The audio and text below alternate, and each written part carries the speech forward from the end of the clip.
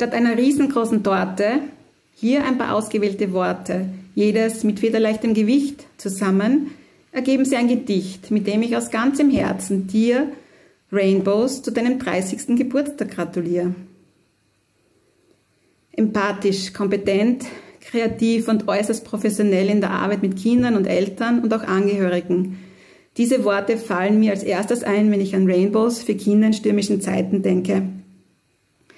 Rainbows wurde ja 1991 in Österreich gegründet und das Projekt Alleinerziehende war damals im Rahmen des Familienreferates der Diözese Graz-Seckau Gründungsmitglied von Rainbows Österreich.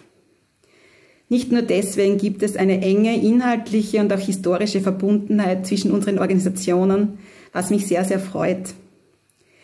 Ich selbst habe die Ausbildung zur Gruppenleiterin für Rainbows Gruppen 1998 gemacht und trage dieses Thema seither in unterschiedlicher Art und Weise in meiner Arbeit mit. Als Leiterin des Familienreferates der Diözese Graz-Seckau gratuliere ich Rainbows zum 30-jährigen Bestehen ganz, ganz herzlich. Ich wünsche Rainbows und allen Mitarbeiterinnen und Mitarbeitern, die die Arbeit von Rainbows so beherzt und wirklich so professionell machen, viel Energie und kreative Kompetenz für viele weitere Jahre, jedenfalls so lange, wie Kinder und Eltern eure Unterstützung brauchen. Ihr seid aus meiner Sicht mit eurer Arbeit einfach unverzichtbar in der Gesellschaft. Ich wünsche Rainbows alles, alles Gute und weiter so mit eurer tollen und äußerst wichtigen Arbeit.